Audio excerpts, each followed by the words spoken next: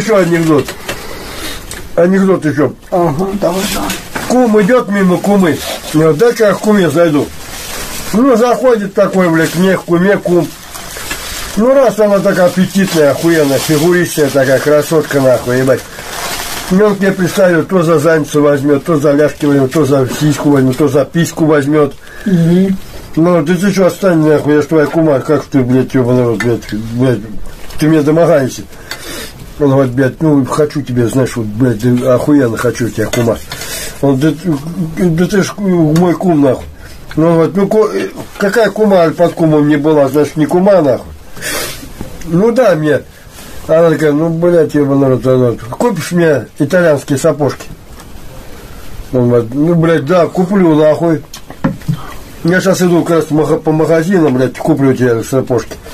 Ну, раз и попиздил. Заходит первый попавшийся на рынок, заходит первый попавшийся, этот самый, то, точка, блядь, вот там галоши продаются.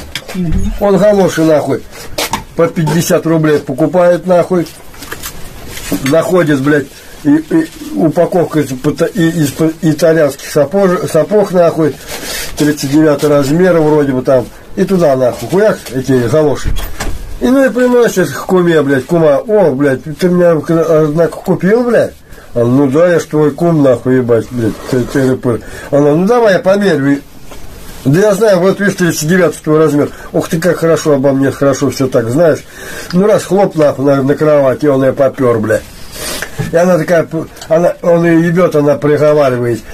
Шире ножки, выше ножки. Заработал кума итальянские сапожки.